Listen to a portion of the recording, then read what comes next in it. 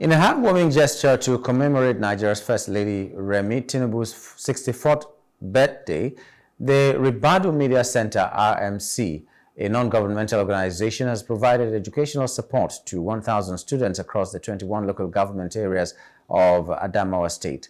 This initiative, which also coincided with Nigeria's 64th Independence Day celebration, represents a major effort to improve access to education in the region. Barrister Ahmed Nuhu Ribadu, the founder of RMC, emphasized the significance of education for national development, describing the initiative as a personal contribution to help local students. Ribadu, well known for his advocacy in education, pledged to continue his efforts ensuring more students receive support. He emphasized that education is a deeply cherished value in his family.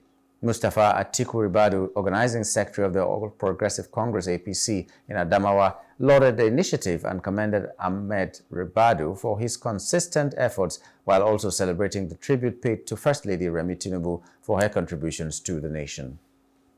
It's done on behalf of the First Lady of the Federal Republic of Nigeria, Senator Oluremi Bola Ahmed Tinubu, uh, to celebrate her birthday. It is done by uh, Ahmed Nuhu Ribadu, son to the National Security Advisor, and uh, is attending with the celebration of 1st October uh, Nigeria 64.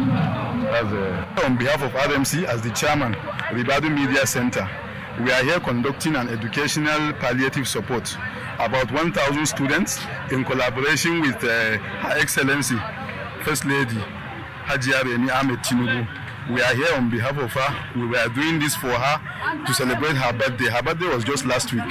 So, and our founder, Madam Ahmad Nur Ribadu, he's the one sponsoring this. He's the one supporting it. We've uh, empowered around 1,000 people, students, with 25,000 naira each. And from here, we are going to go to one area here in Jimeta where he has done a new borehole for them. Hello, hope you enjoyed the news. Please do subscribe to our YouTube channel and don't forget to hit the notification button so you get notified about fresh news updates.